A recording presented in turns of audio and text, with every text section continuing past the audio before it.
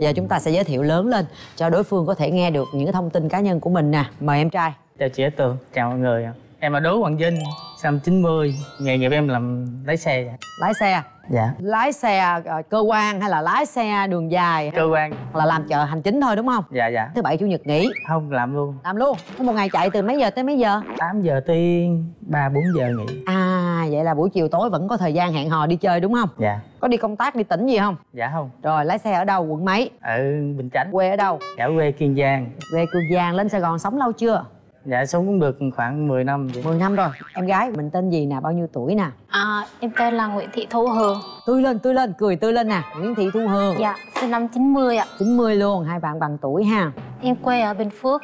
À, Hiện tại đang ở Gò Vấp Làm à, trưởng phòng marketing bên thời trang. Ồ hàng chi nhìn fashion quá trời luôn ha. Mình lên sài gòn lâu chưa?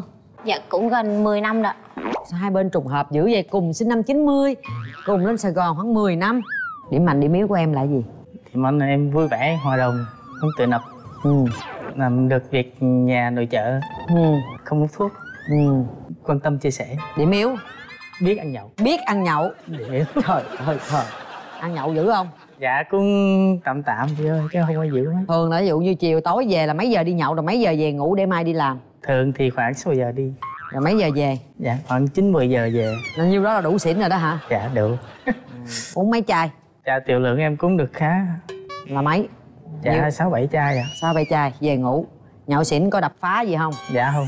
Mời bạn gái. Ê, điểm mạnh điểm yếu của em là cái gì nè? Điểm mạnh là em là một người đáng tin cậy. Điểm yếu là dễ khóc, thẳng thắn đó. Không khéo ăn nói cho nó. Không khéo ăn nói mà là dễ khóc nữa. Thường thì em sẽ khóc vào những trường hợp nào ai làm em khóc? Kiểu giống như là nói động nhẹ gì đó mình cũng khóc à. buồn cũng khóc vui cũng khóc xúc động cũng khóc tức cũng khóc phải không? Dạ, ờ, có khi nào ghen cũng khóc chưa? Cái đó chưa. Chưa. Tình trường của em sao? Em chưa quen ai 29 tuổi mà chưa có mối tình nào hết. Dạ chưa. Muốn tin quá à. làm về thời trang xinh gái mà không quen ai. Lý do tại sao? Tại vì em hơi nhát xíu. Có ai để ý mình không? Dạ có. Mà mình mình sợ mình không dám. Dạ đúng rồi. Rồi em có để ý ai không? Em có thích ai không? Ừ, Thích thì mình thích thôi chứ không có dám nói. Từ hồi đi học tới giờ luôn. Dạ không có một cái tình cái tình cảm nào mà mãnh liệt đến mức là mình phải nói ra. Dạ không ạ. Chưa có một chàng trai nào đủ sức làm em rung động mà để em phải là suy nghĩ có cái nào mất ăn mất ngủ suy nghĩ về ai đó hay là mình tương tư mình buồn mình nhớ thương ai đó chưa? Dạ chưa có kỳ vậy? Ê, thường thì bạn bè của em là bạn trai nhiều hay bạn gái nhiều? Bạn trai nhiều ạ. Bạn trai nhiều. Dạ. Không có anh nào rung động với anh nào trong nhóm bạn đó hết. Dạ không có cái nào mà mình mình ờ, quý một người bạn gái nào không? Không có quý hả? Dạ không có quý ạ. Không luôn? Dạ. Trời ơi. Mà em em có nghĩ là em sẽ thích con trai không? Dạ có chứ. Có. Kỳ vậy ta 29 tuổi mà không rung động một cái lần nào hết. Em thấy bối rối ờ chị cũng bối rối quá. Rồi giờ làm sao đây ta? Cái ca này tôi cũng khó quá. Chắc chắn là mình thích con trai chứ không thích con gái. Dạ. Chắc trăm phần trăm. Một trăm. Xác nhận. Dạ. Tại vì có nhiều người một khoảng thời gian dài cái người ta mới phát hiện ra giới tính thật của mình muốn lấy chồng chưa? Dạ muốn rồi. Mà bây giờ thì em phải thích em phải em phải có cái rung động với đàn ông thì em mới lấy được chứ. Chuyến này đừng nhát nữa nha. Giờ có chị tường nếu mà mình cảm thấy được được thì mình mở lòng mình ra mình thử cảm xúc nha. Trời ơi xinh quá trời luôn á mà sao ngộ vậy ta? Còn em tình trường sao? Nãy giờ hoang mang quá hả? Hoang mang quá. Trải qua hai mối tình chị. Ừ. Mà mối tình sâu đậm nhất chắc có một thôi. Ừ quen được bao lâu? Chắc khoảng được 2 năm. Rồi sao chia tay? Sâu đậm mà chia tay? Do khoảng cách với lại do người nhà không chịu cái nghề của em. À người nhà cô đó không chịu. Thật ra em tài xế là tài xế chỉ lái về lái về mỗi ngày chứ em đâu có đi đường dài Nhưng đường mà trường. người ta có thành kiến với cái nghề tài xế. À, à em có ngại về người tài xế không? Dạ không ạ. Cũng được đúng không? Với lại giờ giấc của ảnh làm thì cũng tới trưa là 3 giờ chiều là về rồi. Dạ. Có bạn gái thì tối lo đi chơi bạn gái chứ không có cái vụ la cà nhậu nhẹt nữa đâu nha không dạ. Em muốn tìm một mẫu người bạn trai như thế nào? Biết quan tâm. Rồi. Ừ, Yêu thương mình. Em không có yêu cầu gì về à, ngoại hình hay là như thế nào không? Không mập cũng không ốm Nó vừa người thôi ạ. Vừa vừa. Dạ. Cao nhiêu? Cao hơn em ví dụ như mét bảy trở xuống được. Em cao bao nhiêu? Em mét sáu sáu. Mét sáu sáu luôn hả? Cao dữ. Và nay cao nhiêu? Em sáu bảy chị. Cô này cô cao vời vợi luôn á rồi vậy cô còn quất dài cao cô còn quất tóc cao nữa là cô xa chót vót em phải đứng em phải bắt ghế đó nhón gót đó. Có ngại gì không? Dạ không sao chị. Có điều gì em không thích ở người đàn ông nữa không? Em không thích ví dụ như là tính gia trưởng á, hay là đi chơi về rồi cứ nạt nộ mình gì đó. Ừ, có không? Mình có dạ gia giờ không có đâu em ơi. Anh chỉ hơi nóng tính thôi. Cô này dễ khóc lắm á. Em mà nạt cô cái là cô ngồi cô khóc liền à dỗ không có nổi đâu á. Nạt thì không có nạt được chị ơi có yêu cầu gì về phía nhà trai nữa không? Dạ không anh có bên đạo không em có đạo không có em. Vậy là được rồi phải không? Dạ. cái này cũng là cái rất là quan trọng. Là như vậy là thấy yên tâm rồi. Rồi bây giờ còn em. Em muốn tìm người bạn gái như thế nào? Như chiều cao của bạn thì hơi ok. cao rồi đó. Dạ. Tính tình thì vui vẻ hòa đồng. Biết ờ, thông cảm chia sẻ nhau vậy được. Vậy được rồi ha. Có Dạ. điều gì mà em không thích ở người bạn gái không? Đừng có càm ràm. Cô này cô ít nói lắm. Cô khóc thôi à. Đừng ghen nữa. Em có làm gì để anh ta ghen không? Dạ không. Nhiều lúc thì không làm gì nhưng mà người ta cũng tự ghen. Em nghĩ em có phải là người hay ghen không nhưng mà phải làm cái gì đó. Đó mình phải làm gì ta mới ghen nhau. Nhiều khi mình đi với bạn bè con gái nãy kia hay là em út hay bạn bè nó nhắn tin lâu ngày nhắn tin nó hỏi thăm cái nãy kia rồi. Mấy chục năm không gặp nhau bây giờ mới gặp nhau ta đâu có biết mối quan hệ đó là quan hệ gì. Nhiều em khi- cái mưa hay em cái nuôi. Người hay ghen thì người ta ghen đủ thứ hết. Nhưng mà thí dụ giờ em đang đi chơi với bạn gái em nè đang tìm hiểu tự nhiên có mấy em cái mưa rồi nhắn tin vô thì người ta phải ghen rồi. Em có sẵn sàng giới thiệu dẫn bạn gái em đi giới thiệu với tất cả các bạn bè của em không? Cái đó là là, là chắc chắn thôi chị. Ừ thế vậy có gì đâu ghen. Sợ là em đi ghen ngược lại đó. Em có phải là người hay ghen không dạ không dạ chắc không? Dạ. Em mà em cái mưa em cái gió em cái bão thì người ta phải ghen rồi. Đó chỉ mạnh đi.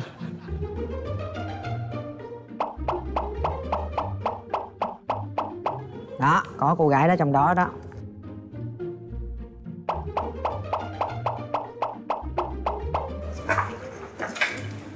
Anh này hả chị? Anh này hả trời hay vậy ta? Nhìn vô mà biết anh này luôn giữ yên nó đi một chút xíu mở cửa ra. Rồi có phải ảnh không? Mà tự nhiên sao em chọn anh đó? Em không biết. Không biết sao tự nhiên chỉ vô anh đó. Nãy giờ mình nghe mình đoán hay là cảm nhận của em hay là trong những số như anh này thì em thấy anh này là được nhất thế là như thế nào? Dạ không em nhìn vô cái tự nhiên nhìn vô là chỉ anh đó. Dạ. Hay quá. Còn em cô nào? Em này. Tại sao em chọn cô đó? Cái cảm giác nó nãy giờ nói chuyện thì em em cảm nhận được vậy thôi. À vậy hả? Rồi ai cảm nhận sai sẽ bị phạt. Một người hay hai người hay không ai hết.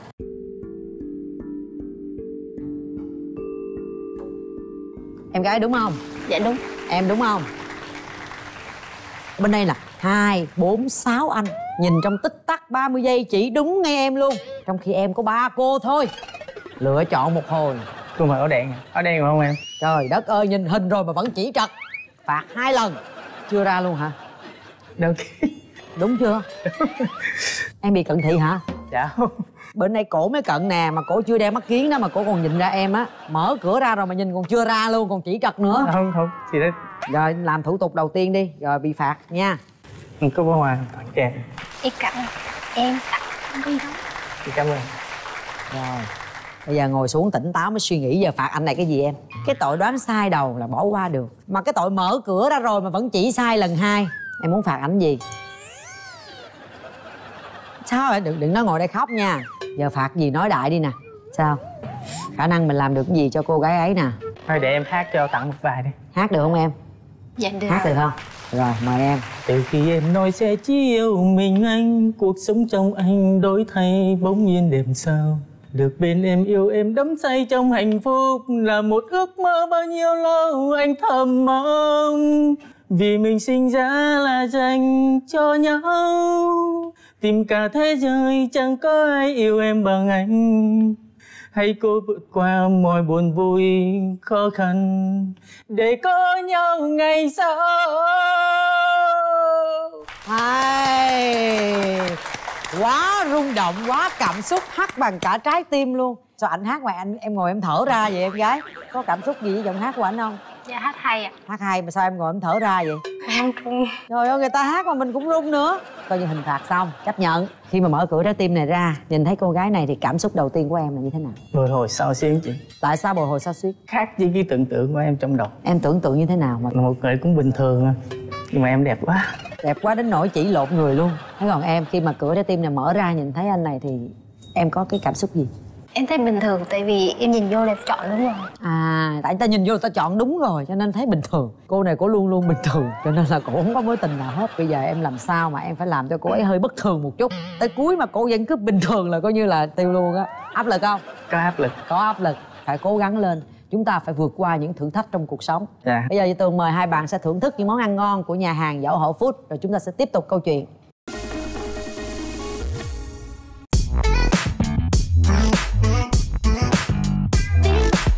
Xin mời hai bạn hãy thưởng thức những món ăn rất là ngon và rất đặc biệt của nhà hàng Dậu Hậu Food.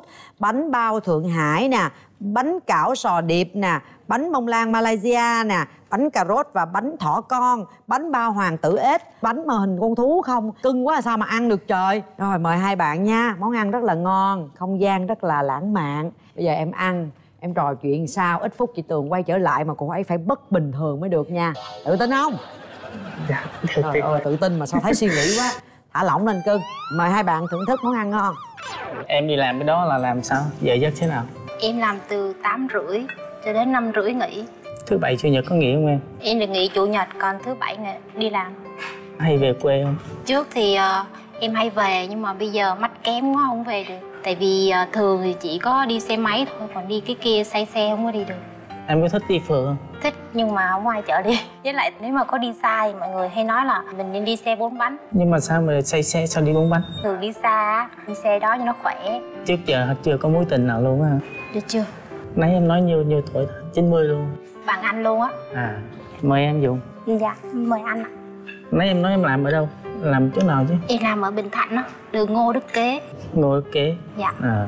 Nhưng mà đi làm là chỉ có từ nhà đến công ty thôi không có đi đâu hết. Ví dụ như tối rảnh thì mình thích đi đâu thì đi xem phim đi mình vậy, còn không đi với các em. Như em quan điểm tình yêu của em là như thế nào? Hai người cùng vun đắp chứ không phải một người xây lên còn một người đạp xuống không có được.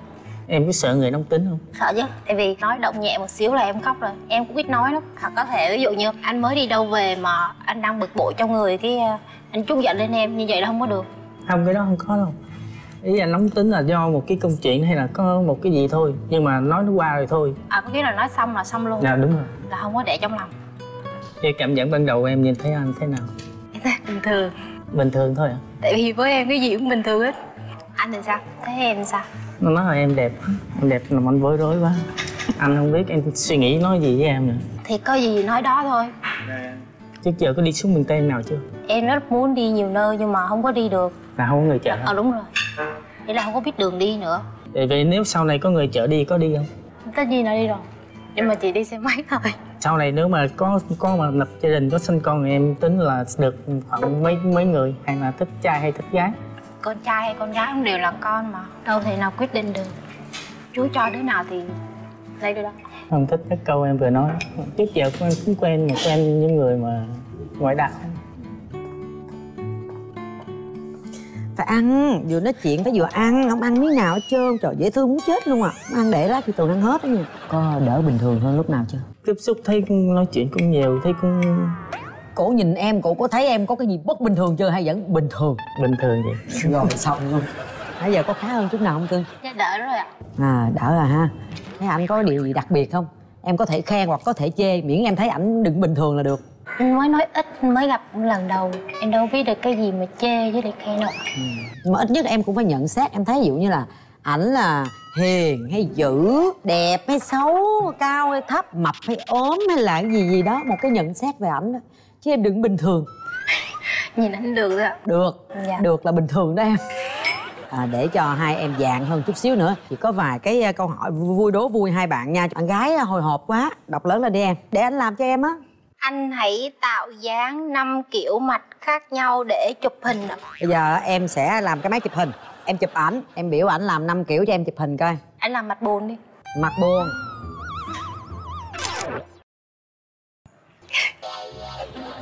Một. Rồi. Nhí nhảnh. Nhí nhảnh giận giận. Cái này không giống. Không giống. Chưa được chấp nhận. Giận. Nghiêm lại. Chưa được nghiêm. Chưa được nghiêm. Con mắt trợn chi? Mặt lạnh lùng lại. Đó cái đó được rồi đó em. Tiếp gì nữa? Cu te đi thử coi. Dạ. Cu te. Được không em? Dạ được. Không rồi một cái nữa là cái gì mặt xấu đi ha. Dạ. Là mặt xấu.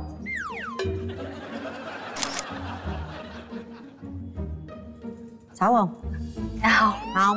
Cổ chưa thấy xấu. Xấu là cổ cổ bỏ đi luôn á mới được.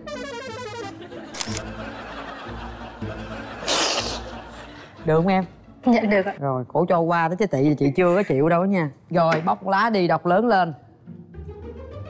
Em hãy biểu diễn một số động tác chụp hình sống ảo em đừng nói em không có chụp hình là sống ảo trên facebook nha.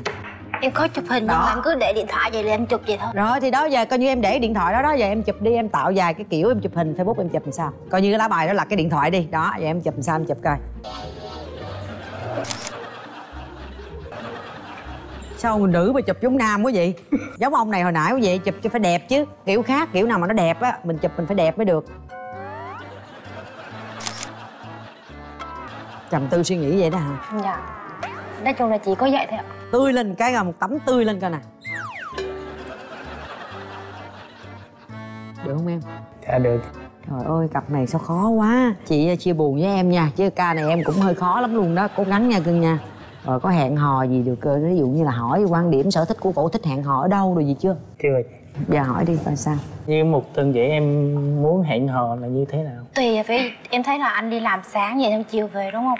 Thì em đi làm là từ sáng tới chiều năm rưỡi về buổi tối nếu như mà không đi đâu thì chỉ có ở nhà thôi. Thích thì một mình đi xem phim gì thôi còn không thì chỉ có ở nhà. Thì nhắm một tuần là mình hẹn hò được mấy mấy ngày cho anh thôi. Ta rảnh buổi tối mà ăn thua em thôi. Bảy ngày được không?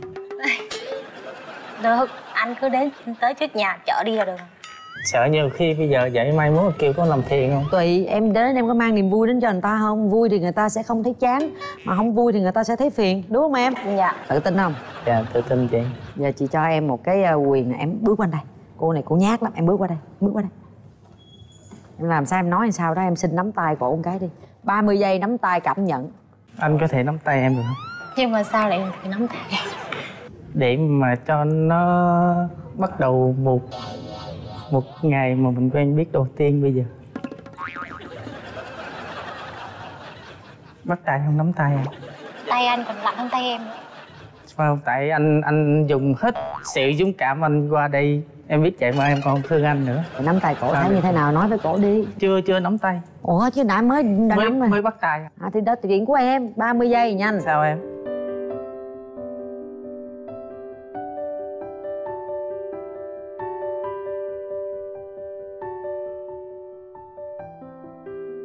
tay của em rất ấm. Có luồng điện chảy qua không em? Dạ. Bình thường. Bình thường.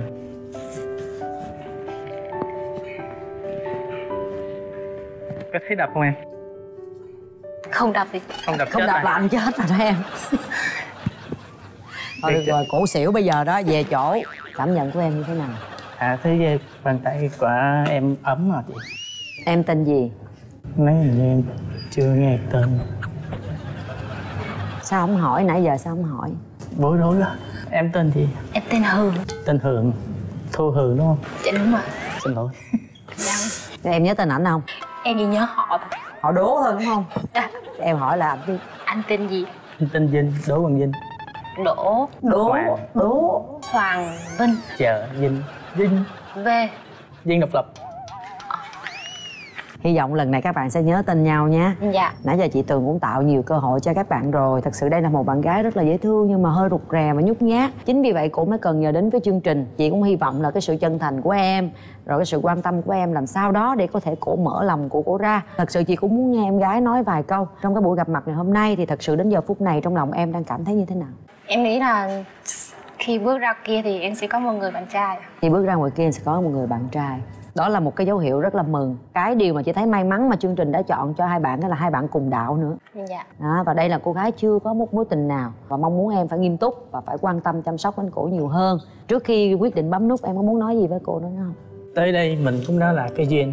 Nãy giờ anh dùng hết cái tình cảm dùng anh nói chung là anh dũng cảm lắm anh mới qua làm vậy. Chứ thực ra em biết tay anh lạnh lắm. Mà anh cũng gôn dữ lắm mình gặp nhau thì cũng chắc được có một một thời gian ít thôi chứ không được nhiều. Bởi vậy em cứ đặt cái niềm tin đó vào anh. Em đặt cái niềm tin này á, sau này em sẽ không có hối hận anh sẽ không có làm cho em phải hối hận vì cái niềm tin này đối với anh.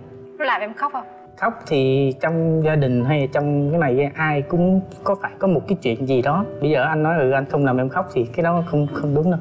Em khóc anh có thể anh dỗ hay là anh làm một cách nào đó cho em em em vui cảm ơn em. Chị ờ, rất là xúc động với những lời nói của em và chị nghĩ là bạn gái bên kia cũng hiểu được những cái gì mà em đang chia sẻ. Em cũng rất là xúc động. Cô gái này rung là bởi vì cổ nhút nhát cổ rụt rè. Nhưng mà cái rung của em đó là xuất phát từ một cái sự chân thành. Với kinh nghiệm của chị thì cái cảm nhận của chị luôn đúng. Dạ. Có bấm nút hay không là quyền của các bạn. Thật sự mình cảm thấy đối phương là một cái người mà mình cảm thấy tin tưởng được thì mình mới bấm. Mời hai bạn đặt tay vào nút bấm này. Nhắm mắt lại và sau 3 tiếng đếm của chị tường nếu đồng ý hẹn hò bấm nút thật mạnh. Không đồng ý chúng ta có quyền lấy tay ra. Một hai. Ba. Hết thời gian.